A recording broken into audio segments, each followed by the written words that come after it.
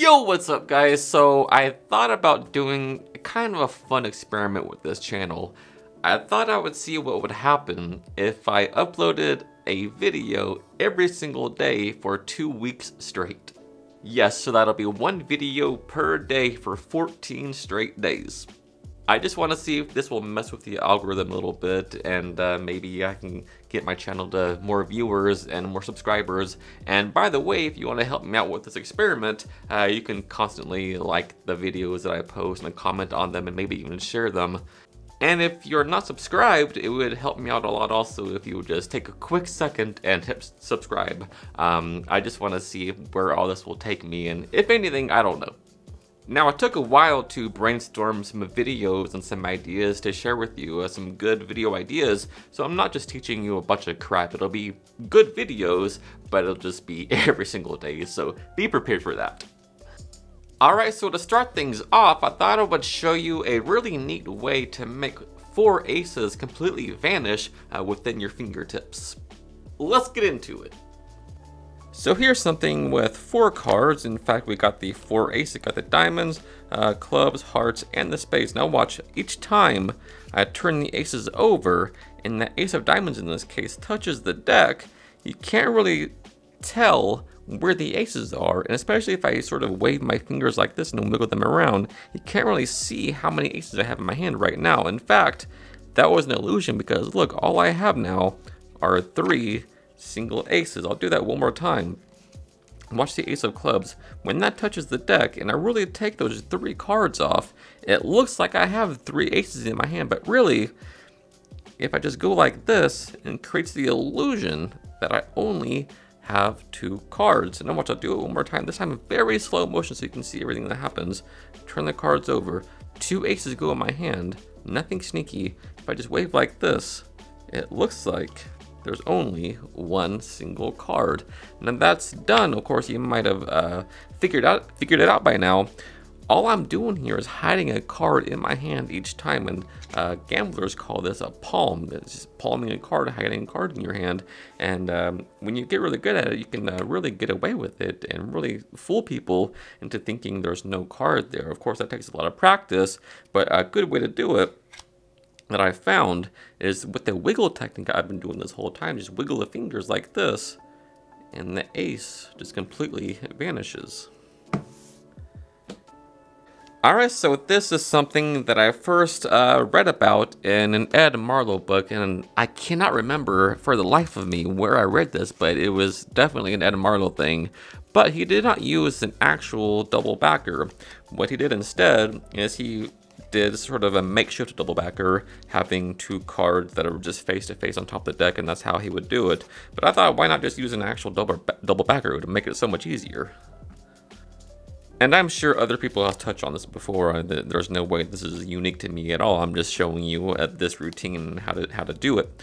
All right. So what you want to do is have the four aces on top of the deck and below those have your uh, double backer, all right? So what you wanna do is when you spread the four cards off the four aces and show them, you can show them cleanly and fairly, but when you do that, you wanna get a break, a pinky break under that top card, which is the double backer. And you wanna do that, you know, you wanna make it sneaky. Don't, don't do something like this. Don't do a big pushover and do that just in the open. You want to make it a secret thing, all right? So, so, I mean, that can be seen and that's very obvious. So what you want to do is make it secret, all right? So what I like to do is when I show them like this and I'm just saying, look, I got four aces.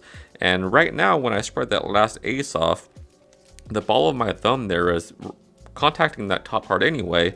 So as, as soon as that does that, I'm, it's already pushed over a little bit and that allows me uh, to get my pinky right under there and just close up as I that just show the aces. So everything is, is in motion anyway, like this, and then you just show the aces around like this, and uh, you're like this. And I've already got the break, and there's no need to do with this after the fact, all right? So when everything is in motion, and get that break at that moment. So when you show the aces, you just put them on top like this, and now you have a break under five cards, right? The four aces and the double backer.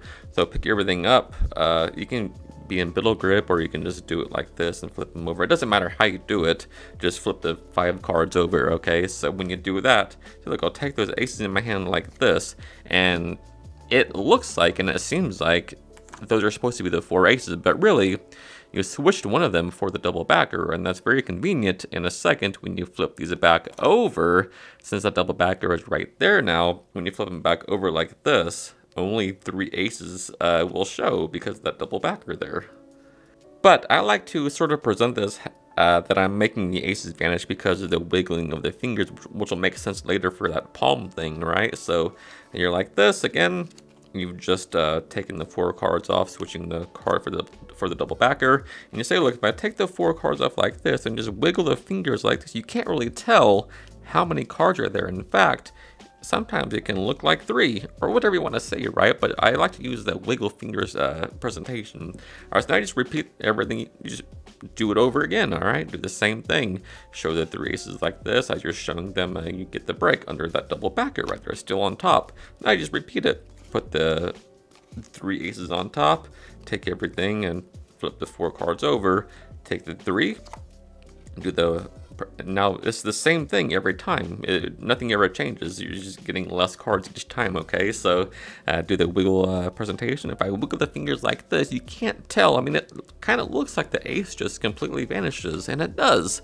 And uh, just same thing again, get the break under that double backer as you show these, uh, turn these three cards over. They think it's two, it's really three, and the double backer. Now look, this is a cool thing. When you take the two off like this, you can't really do the wiggle technique and make it look like one card because there's no way to get those aligned.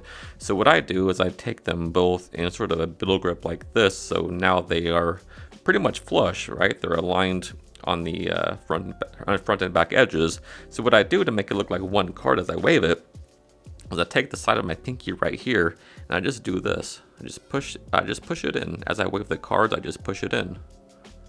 Just like that. So as, as the cards are being waved like this, actually it'd be like this. Yeah, it'd be like this. So as the cards are being waved around, I just take that pinky and slide it in and it, it looks like uh, that one card just vanishes and it looks like a card. So just turn that card over and it'll really be one card. Now to make the last ace vanish, you can pretty much do whatever you want to do. You know, you can do the old Erdnase color change, or you can do maybe a um, the Cardini change. You can do uh, maybe a clip shift, um, whatever you want to do to make that last ace vanish. And uh, what I like to do is do the uh, the face up tent vanish and it looks like this. So it's by Ken Krenzel, comes out of his book Relax Impossibilities. And normally with a tent vanish, you do it face down and pretend to, you know, go through the actions of palming a card, and it would be gone, right? But that's, I mean, a five-year-old could figure that out. But with a face-up card, how could that work, right? So here's the work on that. It's different than a regular palm uh, position. Normally it'd be like this, but with this, you want to clip that card in the fork of your hand right here uh, between your thumb and your index finger like this. So you're clipping that card like this in that little sort of crotch area, right? So when that happens, you'll notice that the card flips face down automatically when you do that, right? Just clip it like this at this corner here, and it'll just flip face down. And then all you gotta do is take your thumb and just move it flush with the deck as you pretend to palm the card. So from here, it looks like this pretend to palm the card, and just the move, the turnover move is done already. So you're like, this is exposed view, do this, just like that. It's very easy to do, but the what sells it is the feints, right? And what I mean by feints is do it for real the first time and make your hand look as if it were doing it, you know, the fake thing, but make that look the same as if the same every time, all right? So do it for real a couple of times. Say, look, with this last one, you might have guessed what's going on by now. What I'm doing is palming the card, and that's your presentation. Old gamblers do it like this. They just palm the card away. And of course, this takes, this takes a lot of practice to get good and make it look like there's no card in your hand. Do it a couple times, right? Now, the third time you do it, that's when you actually do the move. And uh, sometimes when I do the uh, the wiggle technique like I've been doing this whole time, I can really make that card look like it's really gone you really want to make it seem like you're palming the card off and really like that's what takes the most practice is making it believable that you're palming a card right just like this and whenever you're doing it you'll notice that sometimes uh, it takes a bit of a second and uh, because you want to turn that card over so it takes a second to actually come away with the hand. And so when you're actually palming the card off, right, move your thumb, move your thumb a little bit and make a little scratching sound as you would with the fake thing. You'll notice there's a sound to it.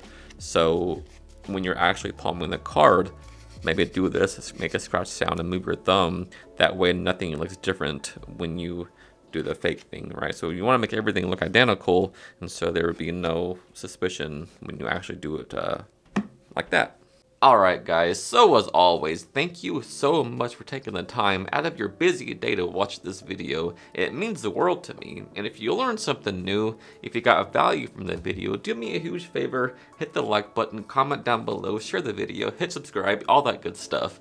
Till next time, happy practicing. I love you guys.